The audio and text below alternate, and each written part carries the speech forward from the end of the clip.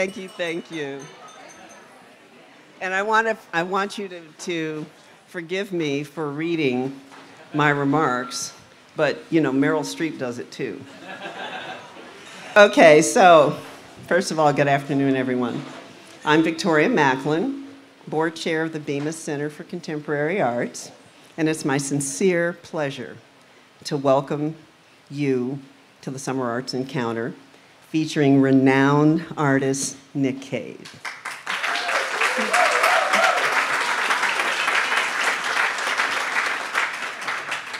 This event coalesces several important values of Bemis Center supporting artists, creating community around experience of contemporary art, and sustaining the daily operations of one of Omaha's cultural gems.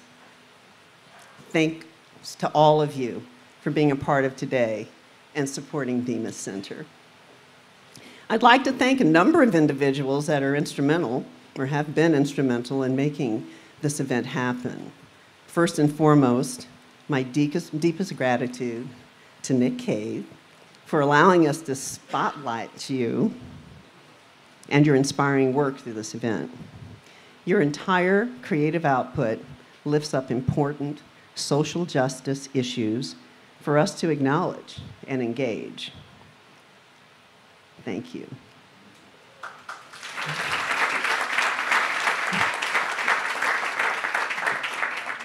Your partner and collaborator, Bob Faust, played a central role in coordinating your time with us today.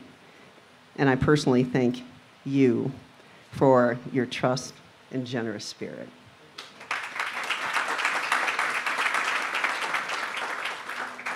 I also extend special thanks to the lenders of the four sound suits inside. They include Karen and Robert Duncan, Kathy and Marc LeBaron, Polina and Bob Schlott, and of course, Betiana and Todd Simon.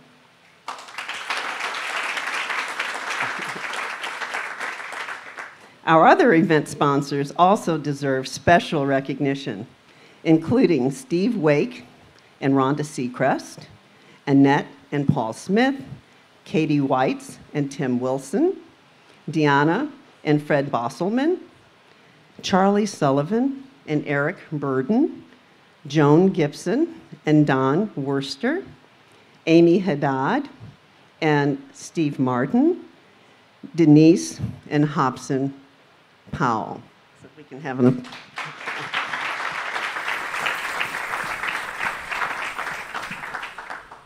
Lastly, I offer again my warmest thanks to Betiana and Todd Simon.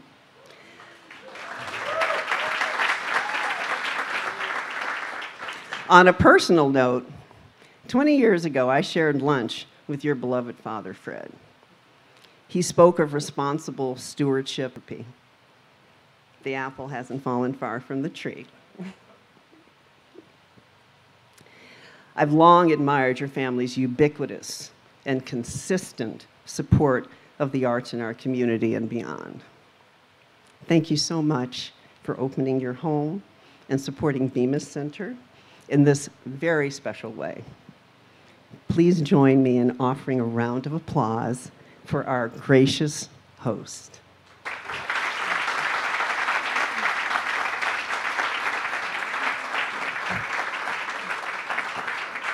Todd. Thank you, Vicki. And good afternoon and welcome, everyone. I'm also going to read my remarks just like Meryl Streep.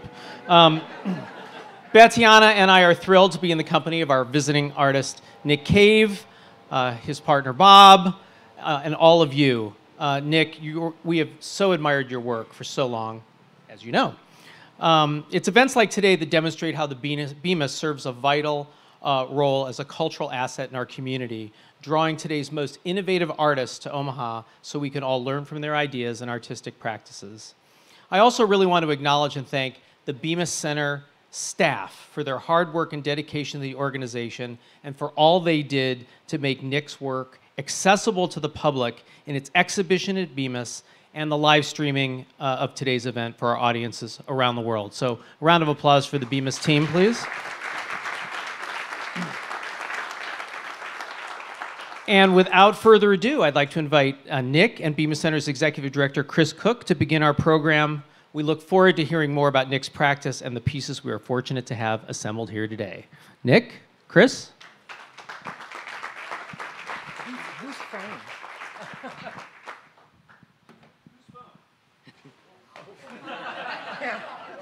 Who's broken phone? Exactly. Who wants it now?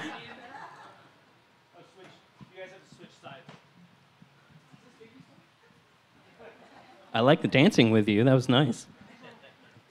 That's yours. That's yours. Vicki and Todd, thank you very much uh, for the wonderful remarks. Uh, it's uh, great to be here. Thank all of you for being here this afternoon. I'm, ha- I'm hope- hoping you're having a great time. Uh, so Nick and I are going to have a little conversation. Uh, I hope you can bear with us. We're going to open it up to a little Q&A for all of you to lob some hard-pressing questions uh, to Nick. And then uh, we will serve dessert. So stick around for that as well. Uh, one last, last housekeeping item. Uh, before you leave this afternoon and head home, uh, we have goodie bags for all of you. They're at the check in table. So please be sure to grab one of those on your way out. It's basically Bemis propaganda. You'll love it. You'll love it. No art? No art, yeah. Just just swag. Yes, just swag. Which arguably could be could be art. Uh, I also, um, of course, I'm grateful to be able to s- share a stage with you, Nick. I also think that uh, Bob deserves a special special recognition as well because he was instrumental in helping us pull this together. So if we could give him another round of applause, that would be appreciated. Stand Thank up, you. Bobby. Stand Yes, up. Yes, come on, Stand Bob. Up. Yeah. Stand up. Bashful Bob, okay. But yeah, sincerely, thank you. So I, I want to start. Oh, and also I should note, um, I'm sure you've already noticed the slideshow that's been looping while you've been enjoying brunch. It's a collection of images that show uh, early sound suits, uh, recent projects, and a few video clips where you can see the sound suits in action. Um, our conversation is not coordinated with that, so don't try to keep up with this and just pay attention up here if you could. I want to start the conversation around the four sound suits that we were able to assemble today and just to get your feedback on what you think about seeing these earlier pieces assembled together and what are some thoughts that come to mind about seeing these these old friends uh, assembled You know, I think when I walked in, uh, I was just traveling back in time. Like, oh, that one was done th- at that time. This one was done at this time. So it was really interesting to sort of see this, um, just to sort of think back in terms of of when this work was produced and developed. Um, it was also interesting. Yes, I knew they were here, but it was really great when I first walked in and there was the button one just right there in, in present. And so it just had this amazing feeling to sort of be introduced by this work. Do you Do I think I've done I did it? I I know I don't know. That's a weird question because you know, I remember going to uh, the Brooklyn Museum and I was with some friends, turned the corner, there was a sound suit, and it's just a weird feeling. Yes, it's my work, but it's, I don't know. I think that,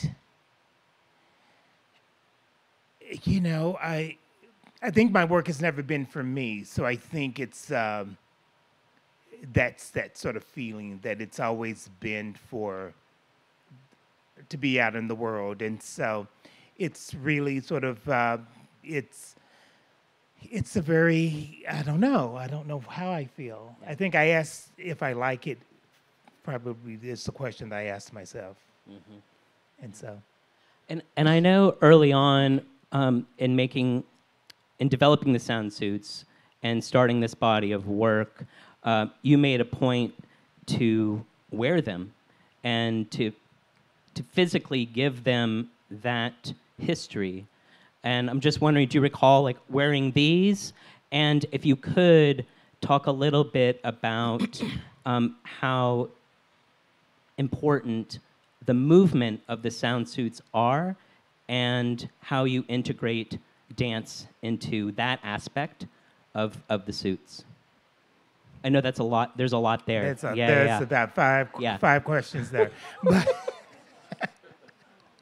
but I, you know, uh, I think it's always been important for me to sort of uh, physically be in them for the fact of understanding them. Number one.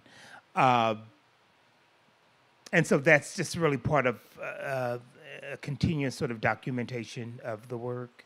Uh, but then these particular ones are not necessarily for performance purposes, and so that changes how they can be made in terms of materials and things of that sort. Um, what was the other? Can you look at your notes? Go back on. this question was so big. Uh, well, I'm I'm really curious to know how activating them in a physical Oh. way really brings meaning to them that could be considered different than how we're experiencing them today in a frozen in frozen state. static. You know, I think, I think, I remember when I would go to the Museum of Natural History, and I would look at all these artifacts that really have been what I consider misplaced and put into this museum setting, forcing us to look at them as objects. You know, I was very interested in that duality that, you know, but when you look at the history of these objects, they sort of all served a purpose within a particular culture. And so I was interested, I've always been interested in the dual kind of placement of, of an object. And so for me, static offers a different kind of authority, I think, with the work and around the work. Also, it allows me to sort of imagine it being on the body. And so just sort of living with that and imagining that to sort of is interesting to be in that kind of space. Um, and so I think it's really sort of two different um, ideas, sensations. Um, I like it as aesthetic object because it's more sculpture as opposed to performative. Uh, and when it's performative, you know, it allows me to be more liberating uh, in my sort of in in the act. Uh, it hides gender, race, class, and so you know, it's a lot of work for uh, performers uh, to sort of, you know, surrender, settle, and to become something other. And and and so it's not as easy as it seems. Uh, in that sort of process, uh, but it's wonderful at the same time. So it's and it's empowering and it's um, it demands a lot. Well, and and each sound suit holds a broad spectrum of various materials, whether they're buttons, various fabrics, and I'm curious to know how does each sound suit sound suit get started? Does it start with a specific material, or does it start with an idea that you've had that you bring to materials? Is it because you're working on a specific project and you know I've got to crank out these? So how do you get started with each one? I think you know the work pretty much gets you know it's provoked by material or a particular object. Uh, I don't really draw them.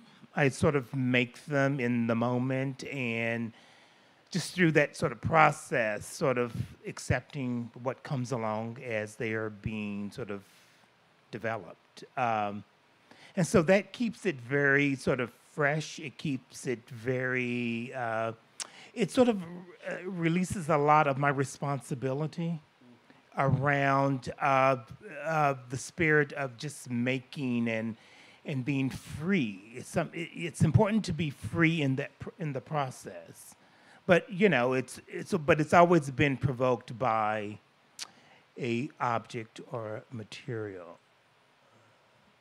And I know what I, in the articles and interviews that I've read in preparation for today, um, there is uh, there's a lot of focus on how the concept of the sound suit was originated, the context um, that occurred, and your experience of that. I'm wondering if you could share that with everyone here today on how was the first sound suit born. You know, the the first sound suit came out of of the Rodney King um, incident. Um, and so, and which led to the LA riots. And so, uh, you know, for me, I think I was coming really right out of grad school. As an artist in grad school, I was a, I was really doing sort of these constructive paintings. So none of this work was even in my sort of mindset. Um, and so it was really coming uh, encountering that incident and really, for me as a black male, struggling with that. Uh, and I happened to be in the park and sitting in the park, there was this twig on the ground, and that really was the catalyst for the first sound suit. And so the first sound suit was com- made completely out of twigs that I collected in the park. I was building a sculpture. I didn't even, it didn't even dawn on me that I could physically put this on until it was completely done. And I was like, oh, I can wear this. And so the moment I put it on and started to move, it made sound. And so that's how Sound Suit came about. And that sound sort of brought me to this place of protest. In order to be heard, you got to make noise. And so that was really sort of the sort of moment that my life shifted. Because when I, I knew when I made the first one, I knew that my life would be different for some reason. I don't know. It just sort of, I was like, oh shit. And I really didn't show that work for probably a good eight years. I made these sculptures, but I would just sort of keep them in the closet because I mentally wasn't quite there yet uh, with what what's behind the work. What does this mean? Um, the demand that it was asking of myself uh, and I just needed to get ready and, and be prepared and be sort of mature enough to stand in in that uh, space. So I've read that the sound suits are have been considered these like suits of armor because they protect the wearer, they protect the performer from um, bias and judgments around race, gender, and class, and anything else that we would project onto another human. And, and so there's this internal defense that is there, uh, which is really pointing to some really serious socio-political issues within this country. And at the same time, the exterior is very inviting. And especially when you see them move, they spark uh, emotions and excitement around like joy and mystery and intrigue. And there's this duality where they're able to hold both. They're able to hold um, high, energetic, deep, positive emotion at one point, and also a very um, serious side that uh, points to profound issues that, as a society, that we face. And, and so I'm wondering if you could talk a little bit about the power within that duality itself, within the sound suits. Yeah, you know, I think that power in in in in that duality sort of is is you know it's me. You know, it's a reflection of myself, and and how do I sort of uh, navigate uh, this uh, world in which we exist in. Um, and so, in what are my sort of responsibilities within the context of that? And I have to be able to, you know, I was raised, um, you know, in a wonderful family, and you know, was all sort of really built around unconditional love, and and so and self worth, and so for me, you know, I was, you know, I understood. Uh, unfortunately, these sort of odds that could be against uh, growing up as a, a, a, person of color. But at the same time, I was told that, you know, I could be anything I want to be. And so I'm sort of like, oh, shit, here we go.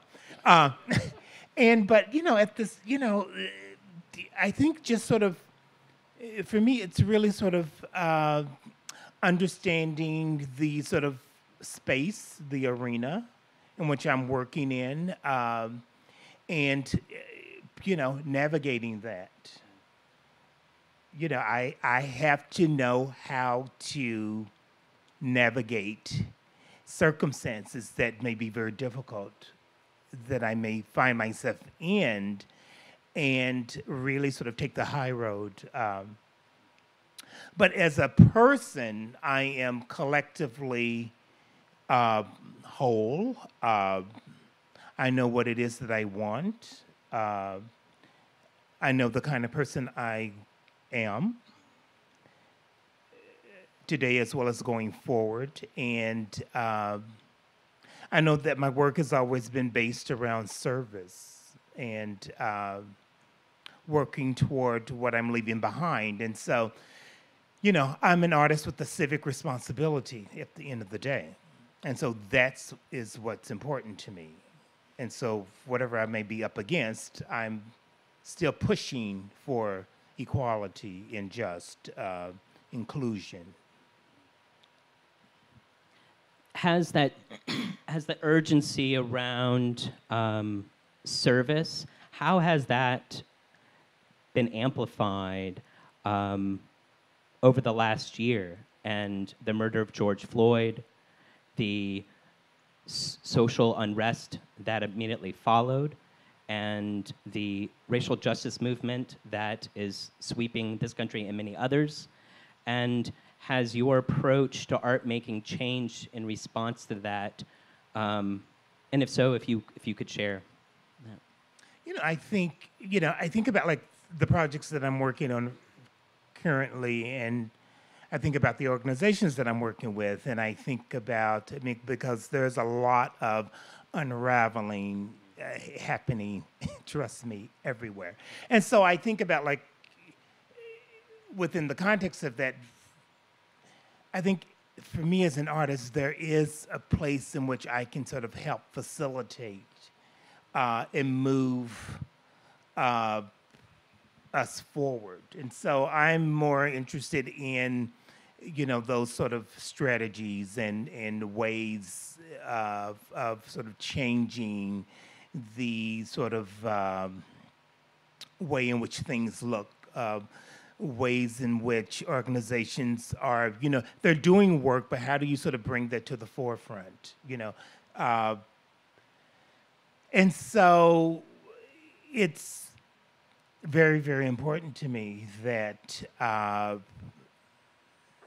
that I sort of am also participating in this moment.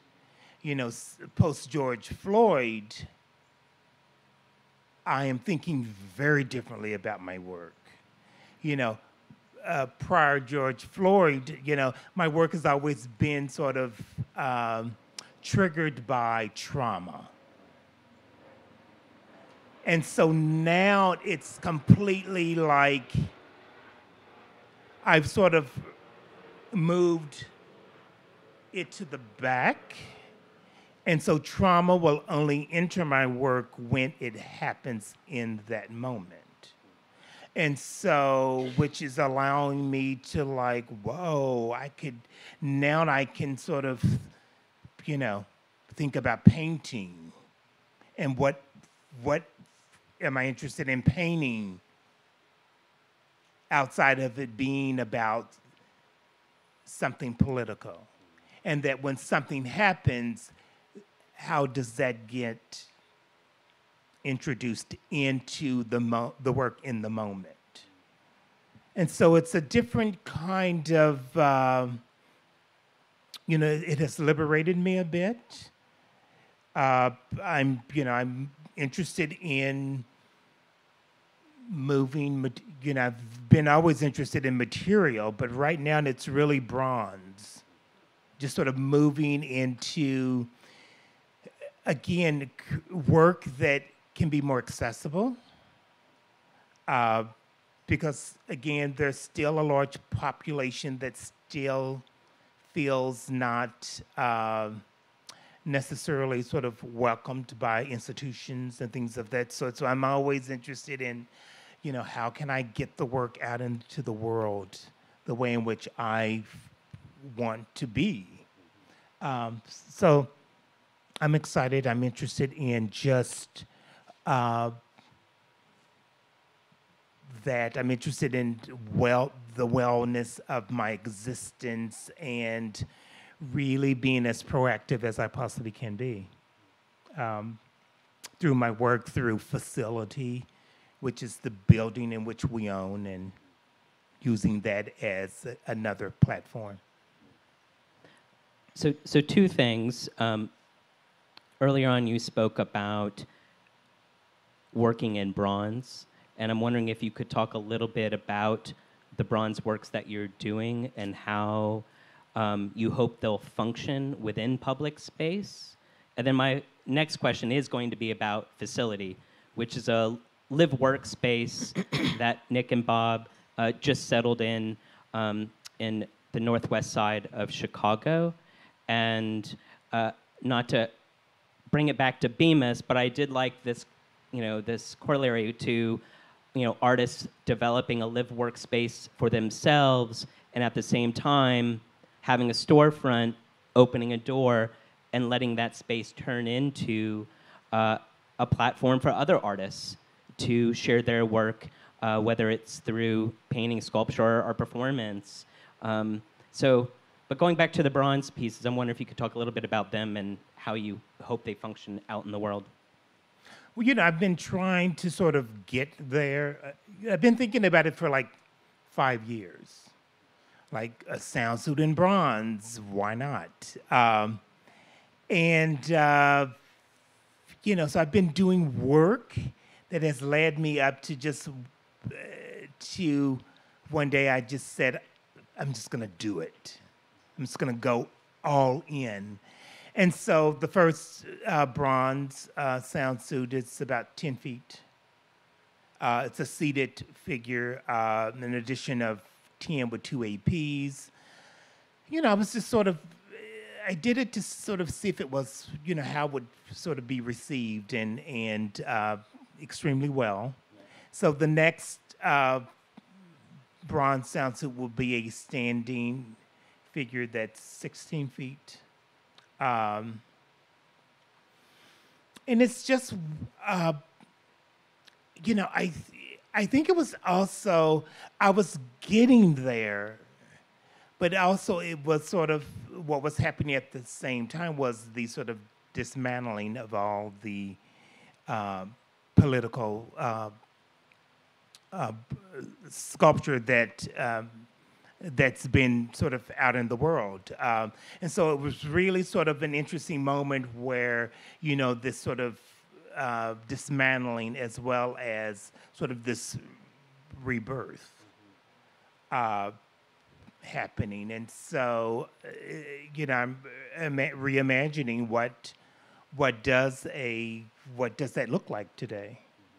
Um, So, so re- a retelling of histories, so to speak, through new forms of monuments um, that this, these bronze could um, be commissioned for those types of public spaces uh, to provide an alternative understanding to how we think about the history of this country, community, etc.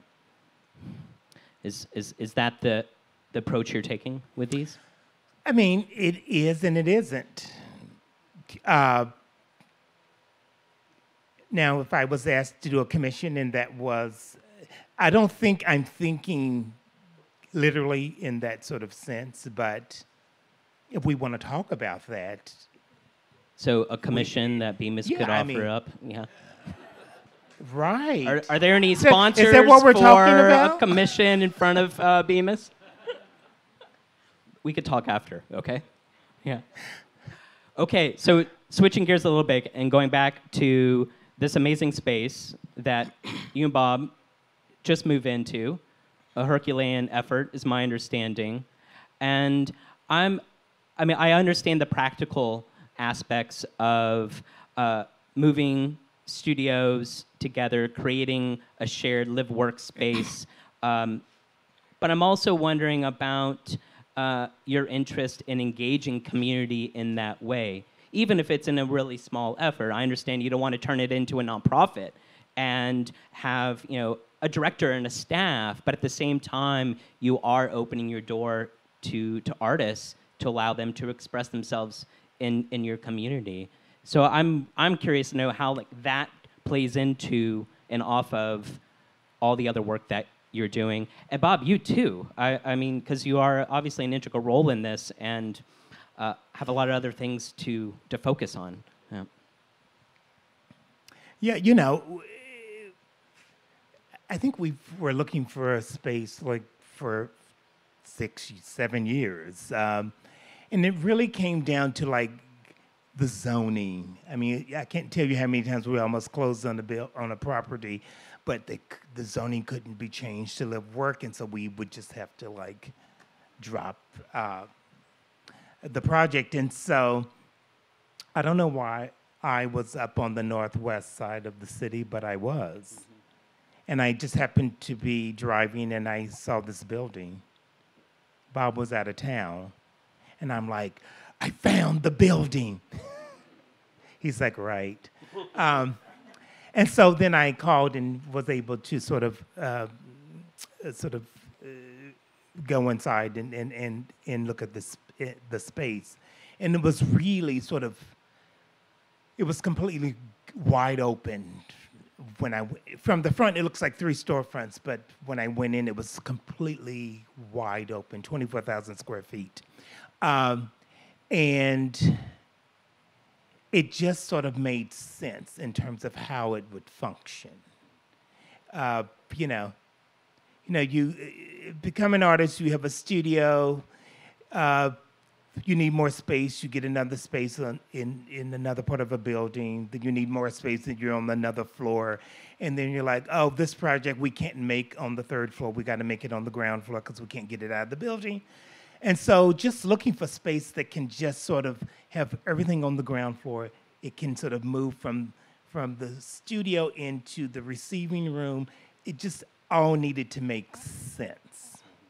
And so, really, sort of finding spaces that could do that, live space that could um, support the collection because we are collectors as well. Um, and I was very interested in a s- uh, storefront, being able to create space that we could host projects that uh, you can view from outside, and we didn't have to open up our doors uh, was really important. Uh, and to be able to and to understand the, uh, the use of the building. I think when George Floyd happened, I was in Missouri visiting my mom, and I was like, "Mom, I've got to get home." I just I was so stressed out and overwhelmed, and I just felt like I needed to do something in that moment. And thank God for facility because we were able to create a project on the front of the windows in the of the building, which was like life changing. So when you have so you understand like the function and and and how how do we use this space? Why do we have it? Why do we need this much space? How do we want to use it? Was really really important uh, for us, and so you know it it it creates opportunity for young artists or established artists to come and do special projects. Um, you know, my grad students. Uh, during COVID, we had to shut down. I am a professor at the School of the Art Institute. We had to shut down three quarters of the way through the end of the year. So they were going into their thesis. They had no thesis projects. There was no exhibition. So we at Facility was able to host this series of, of solo projects for each one of them. So that was like again, another one of those moments that was like amazing that we could do that. And so it's really magnificent, this space. And, you know, we love working there. We, uh, it's surrounded by art. You know, we wake up to our destiny. So it's everything we can imagine. It sounds really special. I'm sure all of us will, will uh, be looking up the address and be at your doorstep very soon. Yeah, for, for a tour. Do not. do not. So, uh, la- Maybe. last topic I wanted to focus on just briefly um, is I imagine that, I mean, when you get home, things will start really uh, kicking into gear if they're not already within the studio.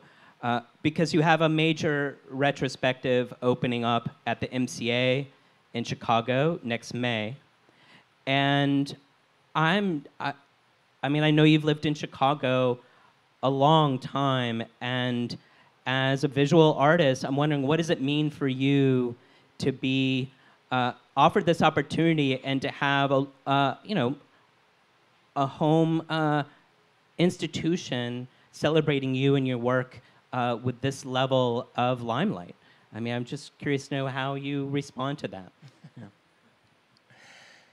how do I respond to that? I, you know, I, I am grateful, of course, and, and very pleased, but, you know, I'm sort of more, I know what the demands are, and so what is expected of me.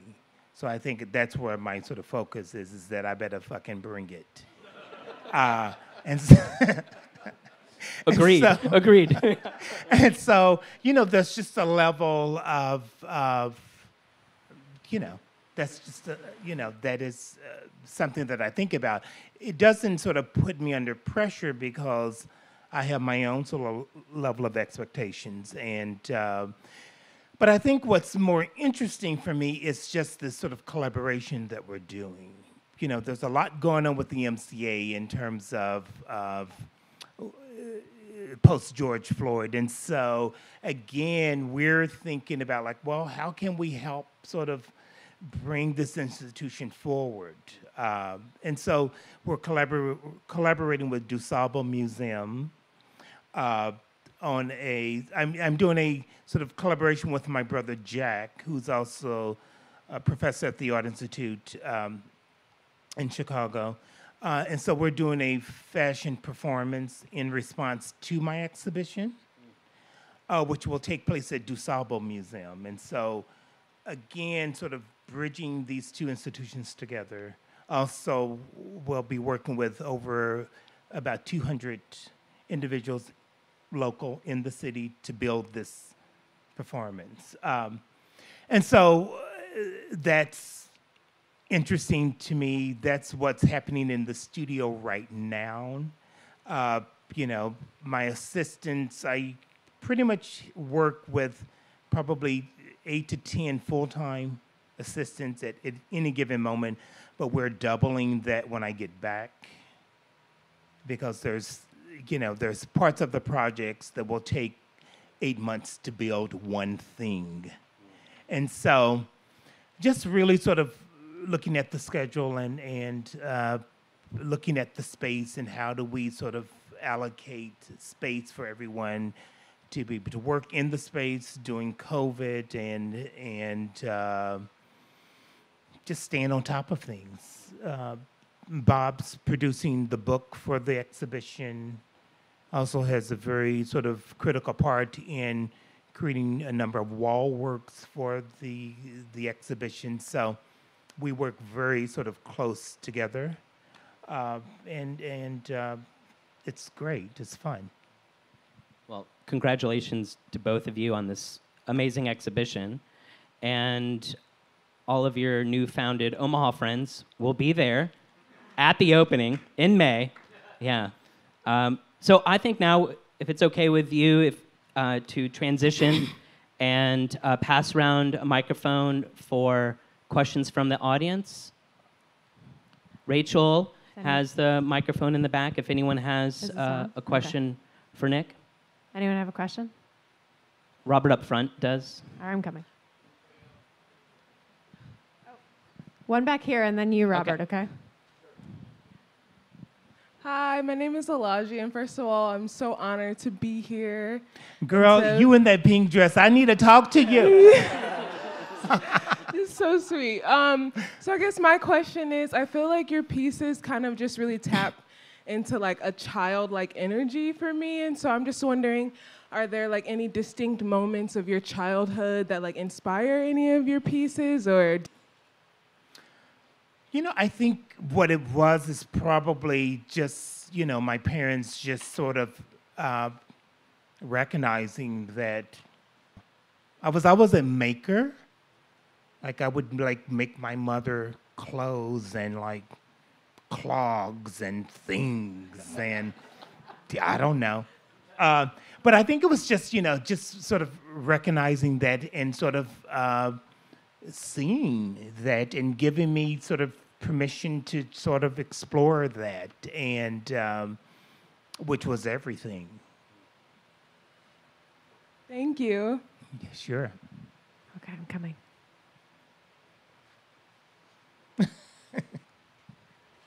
I can run in these, I swear. Yeah, Nick, Robert Hey, Duncan. Um, Karen wants to know, where, how did you, oh my god karen he called you out where did you get those great arms? that's from lifting those sound suits oh my god When I went to the gym, those were called your guns. they still are i mean you know it's like you know i have my r- r- my daily routine which is like up at 5.30 you know i have to sort of like have time for myself so workout is part of that and um, you know just sort of uh, preparing and just getting myself ready for for the day uh, health has always been important to me. Um, Bob just got his yoga certificate during COVID, which is great. Congrats. exactly. Yes. Our international audience that this is being streamed to. One other request. Uh, after dessert, could we get the four collectors with uh, Nick and Bob for a photograph inside with the pieces? Sure. Okay, let's do that. Anyone else have a question? Oh, Todd. Hi, guys. Um, so you said something about um, seeing uh, objects in the Museum of Natural History that seemed, you know, out of place and sort of misplaced. And I'm curious as to, you know, 50 or 100 years from now, when uh, an observer like you sees one of your objects in a museum, are you hoping that that will elicit a different response? And I guess I'm not going to get into the whole institutional, uh, you know, access thing, but I'm just I'm curious as to you. It seems like you're creating a new cultural language, if you will, based on the moment. And why is that that much different than those objects that you're seeing misplaced? Well, I think the objects that are misplaced are don't belong to us. I think that's number one.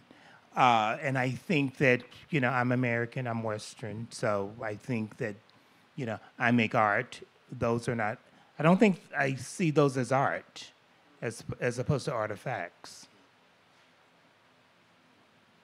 I guess what I'm thinking is somebody without context in the future might see that as an artifact, particularly because it's so performative and you know costume-like. And they might be wondering, you know, All what right. tribe, what tribe that? Art. Art.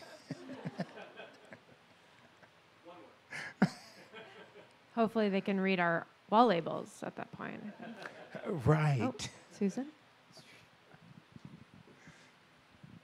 Hi, Suzanne Wise from the Nebraska Arts Council. Hey, Suzanne. Hi. And I was curious about the transition into bronze because your work is so tactile and using so many, I mean, bronze is yet a different type of material, but it seems so solid in comparison to a lot of your other work. Have you found it to be a challenge to make that transition? Uh, no, actually, um, because I really sort of thought about it a lot, and you know, I think a lot of my work there's a lot of pattern, there's a lot of visceral sort of texture, and so eh, with all of my work, work I've always, eh, you know, eh, thought a lot about like what is it that I'm transferring. So at the end of the day, it really comes down to the essence. It doesn't matter what the material is. It's like, how do I transfer that over? And so, I mean, when I saw the bronze for the first time, it was exceeded beyond my expectations altogether. I mean, it's visceral, it's texture, it's pattern, it's uh, epic, um, and it really, uh, it really works. And so for me, it's really sort of looking at uh, materials that can help sort of facilitate these sort of actions, you know. So you would be uh, surprised what I'm working with to get a lot of the pattern, but it's really sort of things that I've collected at the antique malls and, and thrift stores that, again, sort of uh, have that. Uh, content in it. And so it's really just building in a different way. It's heavy, but it's like Bob has something to say, I think. Oh, you have a question? It's not a question. I could add to that. Do you want the mic? Uh, You can hear me, right? Yeah. Give him the mic.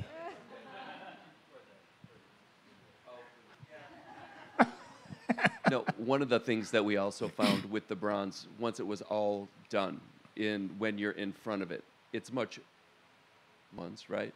It's also blackened and blackened to um, a matte black, which is also super surprising, right? Because you're used to all this color. But what happens when you get next to it, because you're kind of drawn to it, because it's this big presence, like a tree is a big presence, it starts to absorb your energy. And these ones in here seem to, and this one absorbs it. So I think it's more like a collector, you know, and it kind of creates uh, the community's energy, right? And so it becomes a shared thing. And so that color is there. It's just all inside of it. And that sounds a little, you know, arty, um, but it actually, it, that actually is what you feel. Thanks, Bob. Vicky, you had a question, right? This is a ridiculously mundane question. First of all, how long does it take you to create a sound suit? Let's say, let's take the first one you walk in the door, the button one. Yes. Uh, so I would have four people working on it in the studio, and probably three, I would say three weeks. No overtime. I don't believe in none of that. Just, That's I impressive. can't. I can't. I can't be stressed out and like overwhelmed. So, about three weeks. Okay, so this next question is I was looking at the sound suits carefully, and trying to figure out how does the wearer see out? because it doesn't look like us. It's well, in those particular ones, you they wouldn't be for performance. Okay. But when they are, you know, that's all built into the design. Yes. Yeah, but you know, we could be completely fully uh, covered, but you know, it's designed where you know where your eyes are. We will sort of construct it very differently. Okay. Thank you.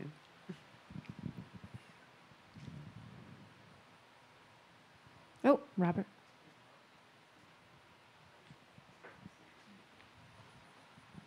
Hello, I'm Bob O'Meara here from New York. When we had a chance to chat in the house, I was asking you about some of the antecedents to the sound suits. And you mentioned the New Orleans Mardi Gras, uh, Indian suits, and things like that. Can you extend that and can you draw a line for us from that kind of ritual activity and processional and dance and what you do? Well, you know, I think with the sounds, I think you know it's really sort of this blend of sort of uh, a number of sort of cultures from all over. You know, the Gungun. Uh, you know, I could be looking at the Haitian voodoo flags. Um, so it's really sort of uh, me, sort of through research, through travel, just sort of looking at uh, just aspects of adornment and, and how that becomes uh, the sort of visual language that is applied to the work. But then, you know, I'm very interested in uh, movement, dance, and and uh, may it be sort of. Uh, I think all of the performance work there is this sort of element of ritual that's built into into that practice. Uh, for the most part, it's you know I most, you know, I work in a way where I bring, let's say, 30 sound suits to a city, and then I hire the city to build the project. So I never bring dancers. I never, I only bring my choreographer, and that's pretty much it. And then we just hire musicians, vocalists, dancers, and we go into a residency and we build a project in that sort of moment. So, you know, the real work and the most interesting work is really the behind the scenes. You know, the building of a project, which is like life changing for me. Uh, and working with these artists that perhaps may, you know, in attendance may have 500 people at a, at a work of their own to like 8,000. So for me, I'm interested in sort of like, you know, well, what does it feel like to be, to create this kind of platform for, for artists uh, to re, to imagine what is possible. So the performance is partially in the making of the thing. Totally. I think we have time for one more question. One more. Oh, sorry, Okay. Karen. she- Okay, two more. You'll be the last. Okay, when you were talking about the button suit, you talked about um, having three or four people helping Yeah, you to assistant. assemble. Mhm. So, what is it that you have them do in comparison to what you do? Is yours, are you the big idea and then everybody kind of helps you get to that point of the final piece? Or how does that work? yes, I am the big idea, but so they pretty much um, they sort of do more or less just the surface work. Like I sort of orchestrate where things go. I lay out everything. Uh, I sort of do the sort of finish to everything. Uh, it has to sort of always have a certain sort of level of of of uh, sort of look to it that I sort of know. And so they think I'm sort of crazy in the studio because I'm like, oh, you know, put, you know, this is here, this is going with that, and that. So let's just, you know, stitch this all down. And they're like, none of this makes sense.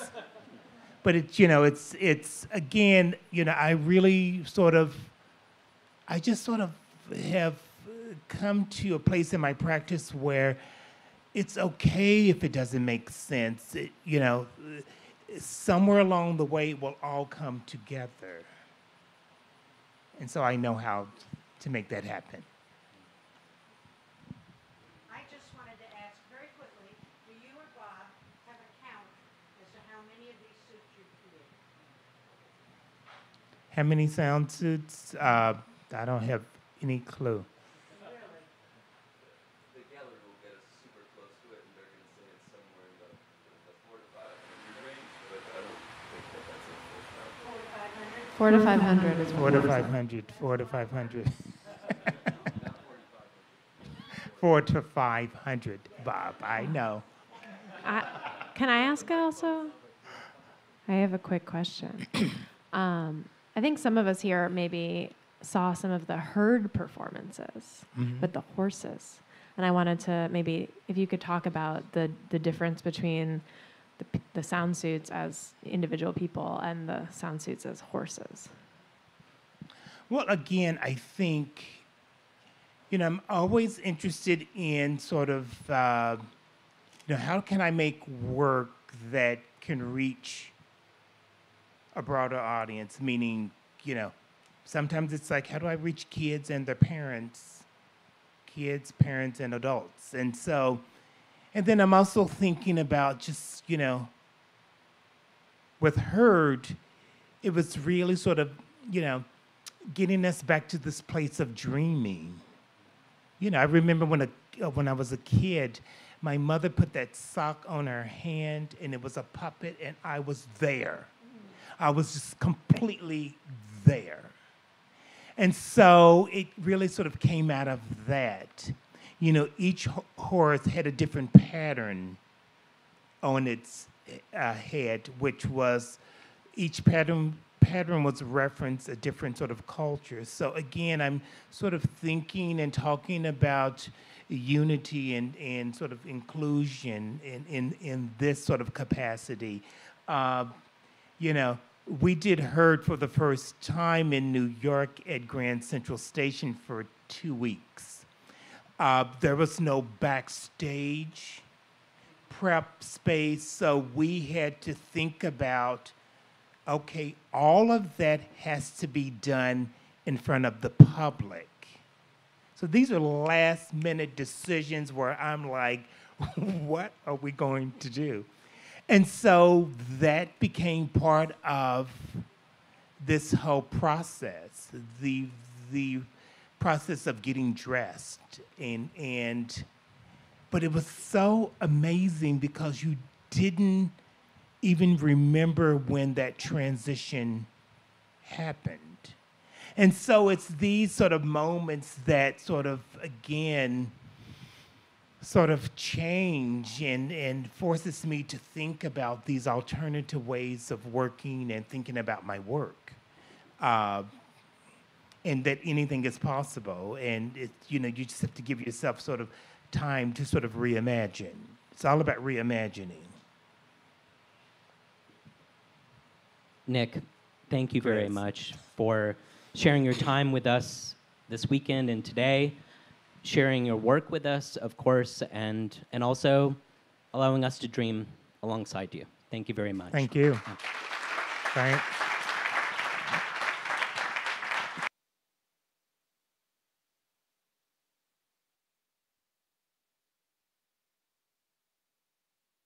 I think dessert is served if anybody wants dessert. So.